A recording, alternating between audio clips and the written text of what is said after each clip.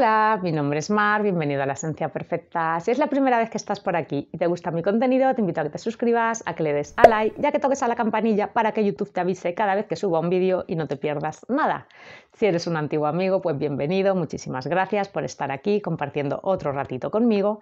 Y hoy vengo con una reseña comparativa entre estos dos, estas dos copitas de cóctel que tengo de Pepe Jeans. Eh, ¿Por qué os la hago? Bueno, pues porque me habéis preguntado por ellas y también porque me apetecía, porque bueno, pues son perfumes que están muy bien, que pueden ser pues muy buena idea para, pues, para hacer regalos, para, sobre todo pues para adolescentes. Para adolescentes no, no por el aroma, sí, pero no, sino por el packaging que tienen, es muy divertido y bueno, pues que creo que son perfumes aptos para todos, un poquito para todos los públicos pero que tienen una, un algo y, que bueno, que creo que son, es, son dignos de mencionarlo. Bien, bueno, vamos a empezar con, me gusta eh, tenerlos siempre así, dados la vuelta. No sé, es una manía, es por la base, me da miedo que se caigan. Vamos a empezar por el primero, que es este Pepe Jeans London. Em, de Pepe Jeans. Este es el primero que se lanzó, y se lanza en 2018. ¿vale? Nos lo catalogan como ámbar vainilla para mujeres. La nariz, mirad que se me pone una cara de alegría. Este es un perfume feliz, muy, muy, muy feliz, de muy buen rollo.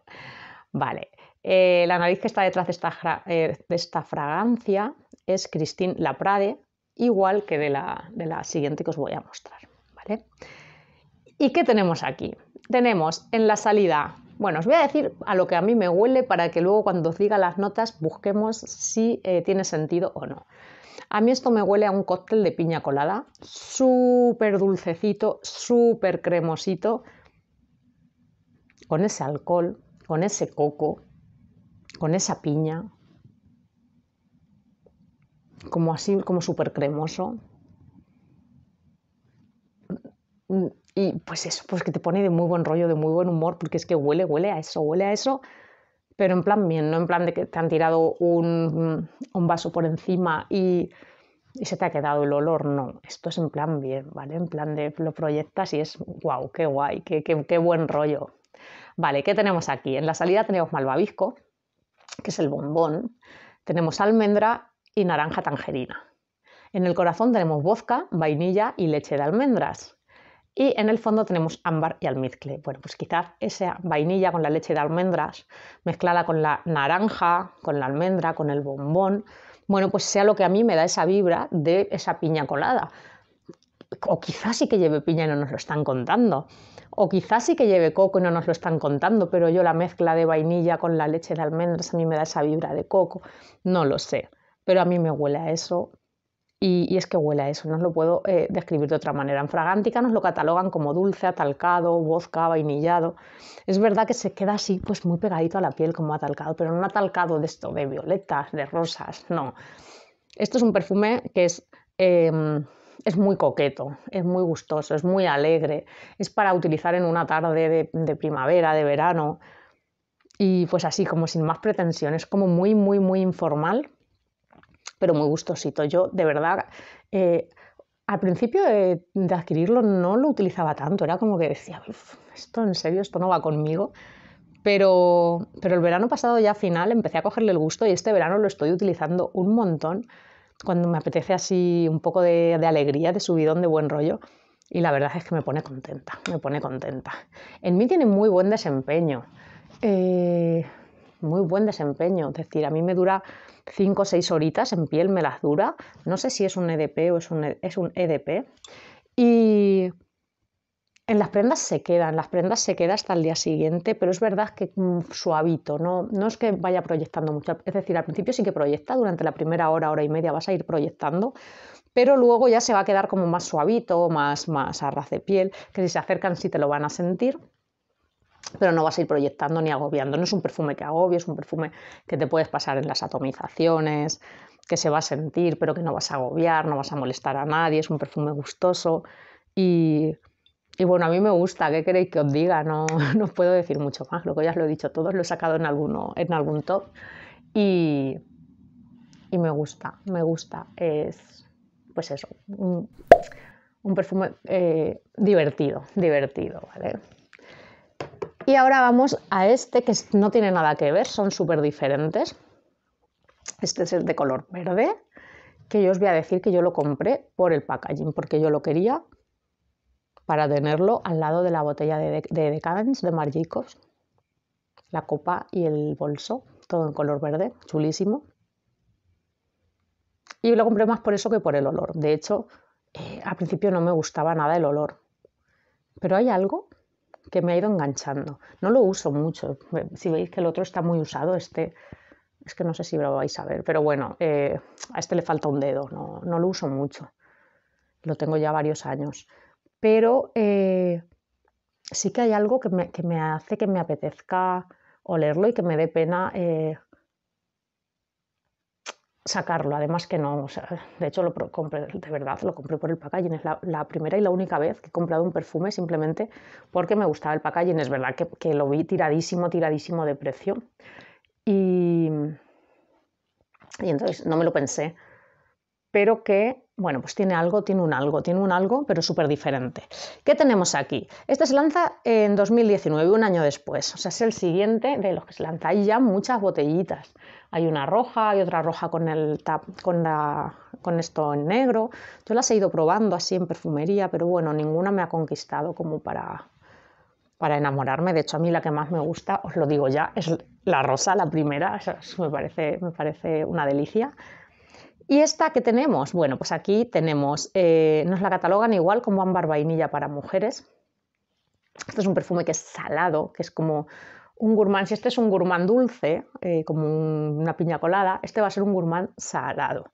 De hecho, lo comparan, nos lo comparan con Olimpia en Fragántica, nos dicen que tiene como reminiscencias. Para mí no las tiene, no se parece a Olimpia. De hecho, a mí yo Olimpias no lo puedo usar y este sí lo puedo usar. Y bueno, yo os diré ahora a lo que me recuerda a mí un poquito. ¿Qué tenemos aquí? Tenemos palomitas de maíz, en la salida castaña y pimienta blanca. En el corazón tenemos caviar, tenemos whisky, tenemos notas acuáticas y tenemos siempre viva. Y en el fondo tenemos vainilla, tenemos abatonca, tenemos madera de cachemira y tenemos ámbar.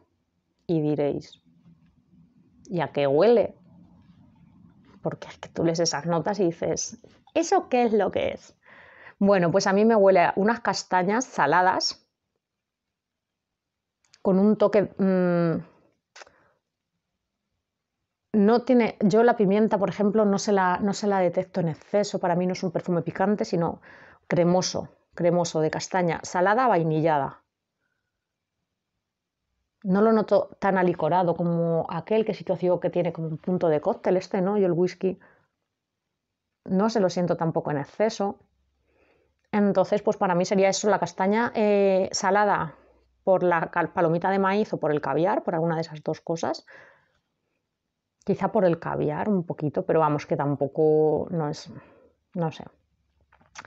Y luego eh, las notas acuáticas yo no se las siento y luego esa parte de abajo cremosa, dulce de la vainilla lavatonca eh, y ambarada. Yo las maderas tampoco se las destacaría en exceso. Es un perfume que es como que sale fresco y es fresco, se mantiene fresco, pero con esa cremosidad que te la hace como adictiva, ¿vale? Es como si estuvieses eh, oliendo una crema de castaña salada.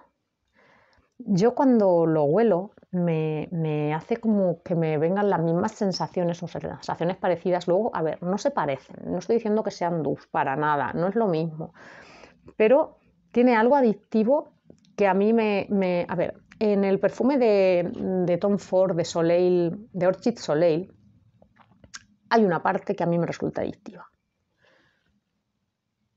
Que digo, que yo siempre digo que es como que me huele a kikos, a los kikos, al maíz, em, al maíz frito.